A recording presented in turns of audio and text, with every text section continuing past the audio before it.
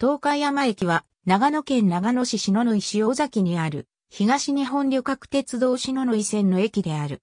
駅名は地名に由来するものの、駅の所在地は過去も現在も東海山という地名になったことはない。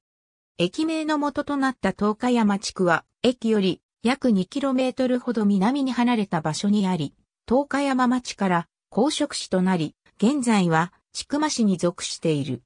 駅の所在地である塩崎地区は塩崎村から篠野井市に編入され、現在は長野市となっている。したがって、駅と東海山地区の間には、常に行政区分の境界線が存在していたことになる。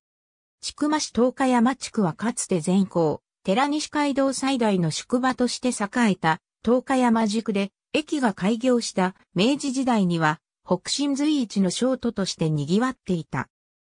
東海山地区に残る伝承では、当時の鉄道一般に対する様々な偏見や風評に基づいた地元の反対運動によって北側に隣接した塩崎村に駅名を当初予定の東海山駅のまま建設されたと伝えられているが、公職市第三巻、篠野井線の開業には宿場衰退の懸念や農民の反対により誘致に失敗したと記されているだけで、所在地と駅名の相違に関しての記述は特にない。